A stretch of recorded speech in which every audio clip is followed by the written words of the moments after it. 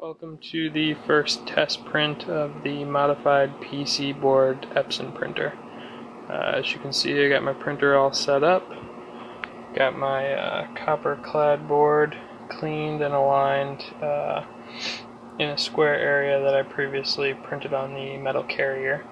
Uh, I've got my heat gun here, I bought this from SparkFun a while back.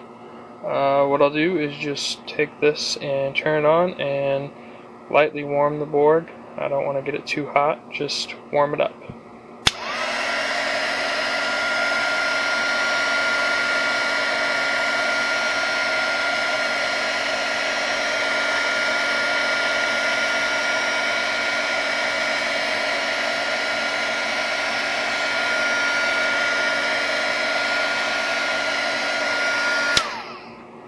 Should be good. Like I said, you don't want to get it too hot or the ink will not spread the way it's supposed to and you'll end up with streaks in all of your uh, boards. So if we come over here, I've got my laptop set up and it's got my test board open in Eagle.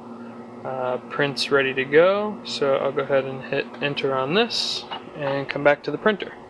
And when it starts to feed, I'll push the carrier in and we are printing.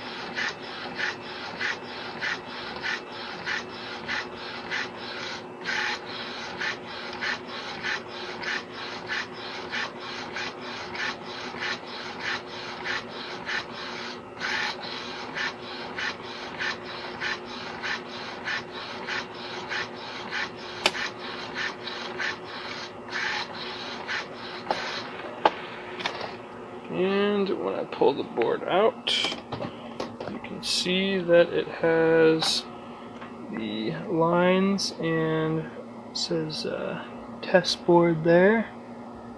Actually looks like it uh, kind of double printed that test board portion, but you can see the various lines and pads on the test board and you probably can't see it in the video but visually they all look quite good.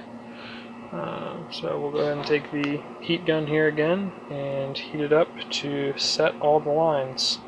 And once you do that, it will be ready to go ahead and etch. So that is the modified Epson PC board printer.